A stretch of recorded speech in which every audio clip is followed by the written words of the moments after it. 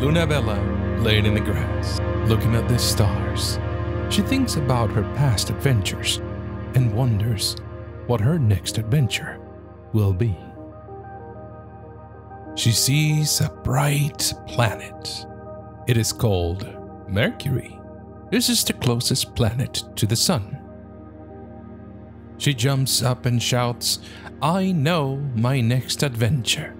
I will visit all of the planets. Luna Bella decides to start at Mercury since it is the closest to the Sun.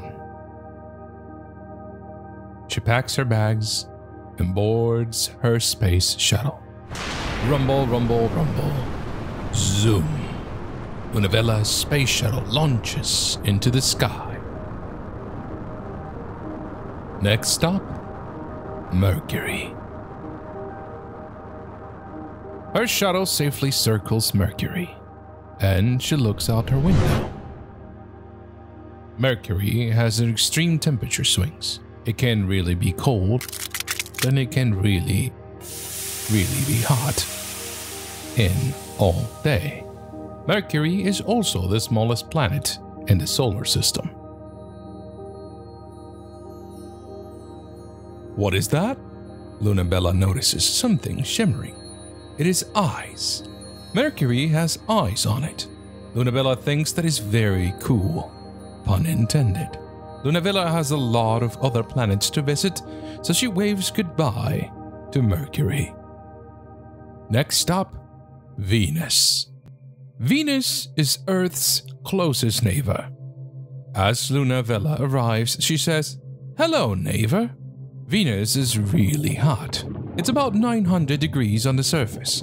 It has volcanoes, and some of them may even be active. Luna Bella notices that the sun is setting on the different side of Venus than it does on Earth. She finds out that Venus spins backwards. That means that the sun rises on the west and sets on the east. It's time to go. Luna waves goodbye to Venus. See you next time, neighbor, she says. The next planet closest to the sun is Earth. Luna Bella knows what Earth is like, so she decides to skip it. Next stop, Mars. Lunabella is excited for Mars because she is hoping to see the rovers, and her favorite color is red. Mars is known as the red planet because of its reddish color. Lunabella arrives and begins to circle the planet. Mars can get very cold. It has temperatures as low as negative 225 degrees Fahrenheit. More than 40 spacecrafts have been launched to Mars, and there will be many more in the future. Luna Bella thinks Mars' red color is beautiful. It's time for Luna Bella to say goodbye. Next stop, Jupiter. Jupiter is the fifth planet from the Sun. Luna Bella's space shuttle comes close to Jupiter. Luna gasps. Jupiter is huge. It is the largest planet in the solar system. Jupiter has a surface swirling gases and intense storms.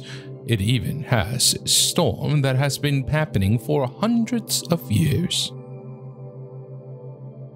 Lunabella is amazed, watching the winds blow and the gases swirl from her window. Next up, Saturn. Saturn is the sixth planet from the Sun. It has seven rings around it.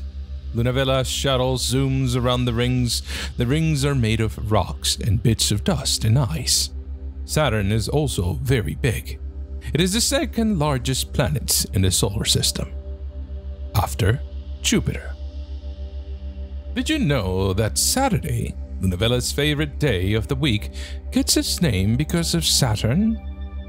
Luna Bella has two more stops to complete on her planet adventure. Next stop, Uranus. Uranus is the seventh planet from the Sun. Uranus is the coldest planet in our solar system. It is sometimes called the ice giant. Uranus is a very pretty blue color. Most of the planet's made of icy materials and gases.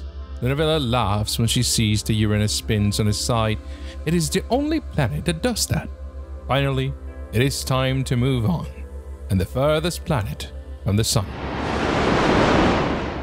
Next stop, Neptune. Neptune is the eighth and farthest planet from the Sun. Like Uranus, it is also an ice giant and it is blue. Neptune is very old.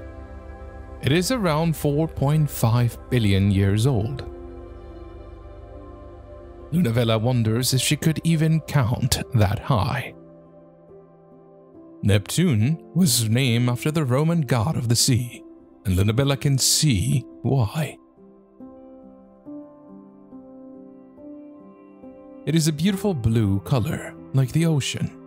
Neptune has the wildest and strangest weather in the solar system. Lunabella watches the weather for a little while before leaving Neptune.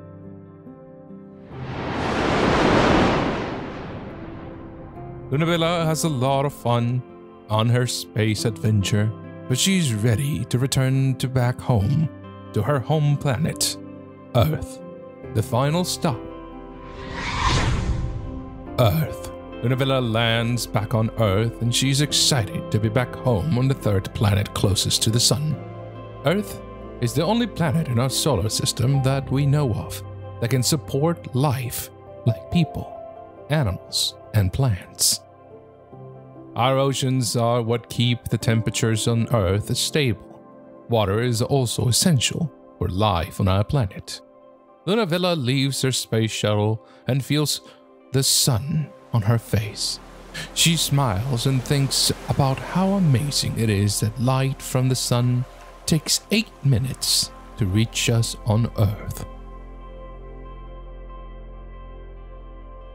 As the sun sets in the west, Lunabella goes to sleep. She's tired from her planet adventure and is ready to dream of her next big adventure.